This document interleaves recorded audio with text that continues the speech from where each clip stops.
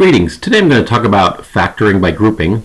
Factoring by grouping is necessary when you have a leading coefficient with a trinomial. For example, 6 is our leading coefficient. So we can't just do our simple trinomial factoring. We'll need to group this into two groups. Um, when you're doing factor by grouping, you're going to look at the leading coefficient and you're going to multiply it by the constant term.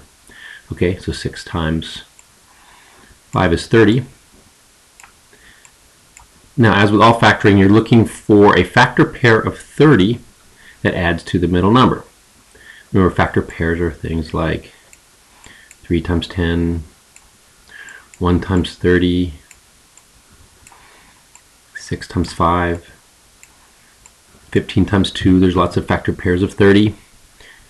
Now, notice that to get a positive 30 and adds to negative 13, both of the factors would have to be negative. So let's look at a negative 3 and a negative 10.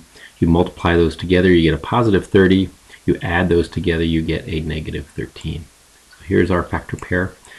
Now with factor by grouping, what you're going to do is you're going to take those two numbers to help split out this middle term. Okay, so drop down the 6x squared. So instead of negative 13x, you're going to use these two numbers get a negative 3x minus 10x and then drop down your constant. We're going to use that original constant of 5. Okay, excuse my writing with my mouse. That's a 2x squared. Okay, so what you want to do is, this is called factor by grouping because you have four terms and you want to think of those each in two groups now. Okay, so look at this first group, these first two terms and you're looking for a greatest common factor. Greatest common factor of 6 and negative 3. In this first group, always factor out a positive number. So you get a 3, and between x squared and x, you have a common factor of x. Okay, so what you're doing is you're factoring out a 3x. Think of it as dividing 6x squared by 3x, and what would be left? Well, you'd have 2x left. Okay, you have a negative 3x divided by 3x, and you have a negative 1. What you're doing when you're factoring the greatest common factor, it's really like the opposite of the distributive property. You're pulling a 3x out of both of those terms. Okay, now over here, be careful. We have a negative over here. When you have a negative as the first number of your second group, you always want to factor out a negative number. Okay, what does a 10 and a 5 have in common? They have a 5, but because this first term is negative, factor out a negative 5. Okay, so be careful. Negative 10x divided by negative 5 would be a positive 2x, and then a positive 5 divided by negative 5 would be a negative 1.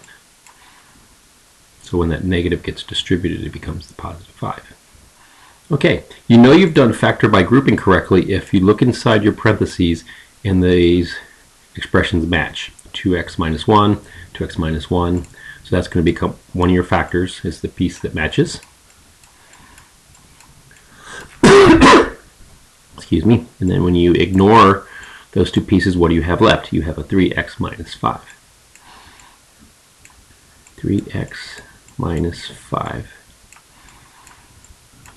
So you factor, remember factoring, you're trying to get rid of this x squared. Notice your degree is x to the first.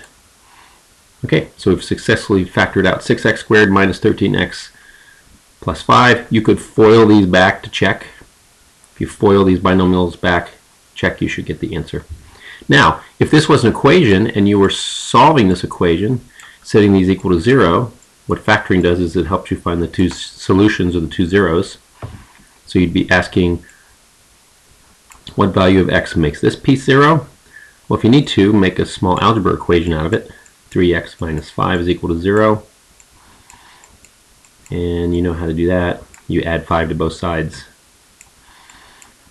And then to get x by itself, you would divide by 3. So x would be equal to 5 thirds, or what makes this one 0? 2x minus 1 is equal to 0.